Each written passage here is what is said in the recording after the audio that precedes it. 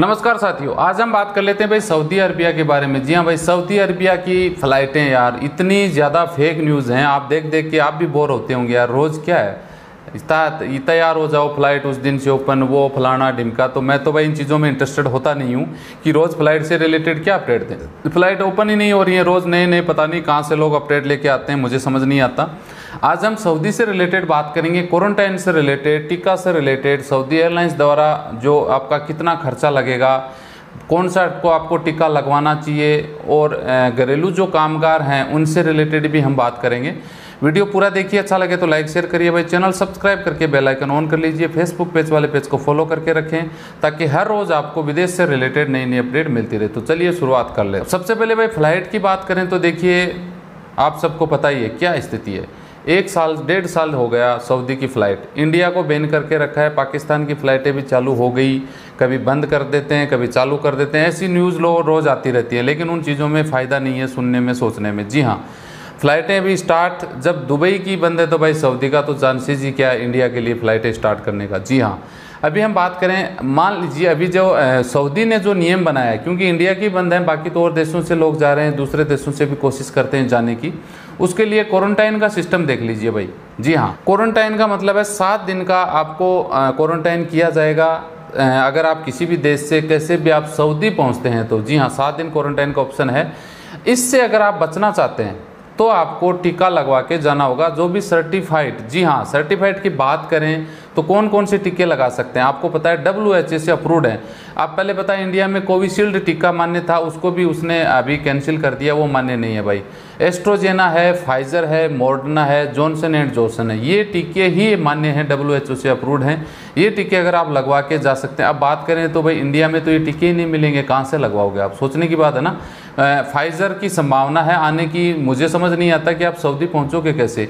Indian Covishield थी, इसको भी बोलते हैं कि ये नहीं मान्य तो फिर कैसे टीका लगाएँ? इंडिया में तो टीके ही नहीं है। स्पुतनिक है, उसको मान्य नहीं है डब्ल्यू एच ए या फिर कोविशील्ड थी, या फिर कोवैक्सीन इंडिया की है, वो तो है ही नहीं मान्य, उसका तो कोई मतलब ही नहीं है। तो देखिए आप कैसे आप सऊदी पहुँचोगे, ये तो आप ही समझ सकते हैं भाई। टीका अगर आप नहीं लगवा के जाना चाहते हैं, और डायरेक्ट जाना चाहते हैं तो आपको पता है कितना खर्चा आएगा? ढाई हज़ार रियाल से तीन हज़ार सऊदी रियाल तक। जी हाँ एक्स्ट्रा खर्चा वहाँ पहुँचने के बाद में आपको पैकेज लेना होगा। सऊदी की जो एयरलाइंस है, उन्होंने घोषित कर रखा है अपना पैकेज। जी हाँ कि अगर आप बिना टिके जाते हैं तो सात दिन आपको क्वारंटाइन रहना होगा। इसका खर्चा, ये फ़्लाइटें लेंगी इतना। ढाई हज़ार, यानी पचास साठ हज़ार रुपये आप मान सकते हैं एक्स्ट्रा खर्चा आपका। लगने वाला है। जी हाँ इन सबसे बचने के लिए आपको टीका लगवाना ज़रूरी है।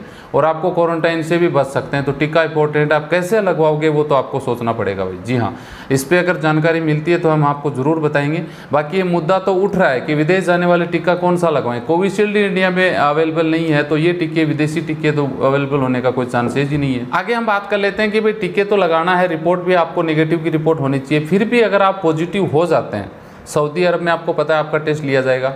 रिपोर्ट अगर आपकी पॉजिटिव आती है तो उसका पूरा खर्चा सऊदी की गवर्नमेंट उठाएगी। ये अच्छी बात आपकी तरफ़ से आप कंप्लीट हो रहे हो, फिर भी आपको अगर पॉजिटिव हो जाते हो तो उसका खर्चा सऊदी गवर्नमेंट देगी। विज़िट वीज़ा में सऊदी जाने वाले लोगों का इंश्योरेंस कंपनी है, वो पूरा खर्चा उठाएगी। अगर आप विज़िट वीज़ा सऊदी लेके जाएँगे, और खुदा ना खास्ता ये टीके रिपोर्ट वगैरह सब होने के बावजूद भी आप पॉजिटिव हो जाते हो तो इसका खर्चा जो कंपनी है इंश्योरेंस कंपनी आपको विज़िट वीज़ा के साथ में जो इंश्योरेंस मिलता है वो कंपनी उठाएगी। जी हाँ। आगे हम बात कर लेते हैं भाई, देखिए, घरेलू जो नौकर थे, उनका सऊदी में पहले बीमा का कोई ऑप्शन नहीं होता था। कल को वो बीमार हो गया, उसकी डेथ हो गई, या फिर उसको कोई प्रॉब्लम मेडिकल मेडिकली प्रॉब्लम हो गई हॉस्पिटलाइज होना पड़ा।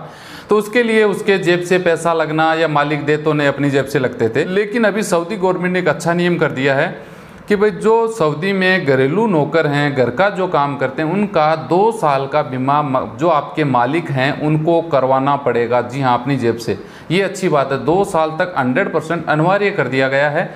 दो साल के बाद में आप करवाते हो, नहीं करवाते हो, आपकी मर्ज़ी है। दो साल तक कम से कम आपका जो मालिक है, उसको इंश्योरेंस आपको देनी पड़ेगी ताकि मुसीबत के समय वो काम आ सके।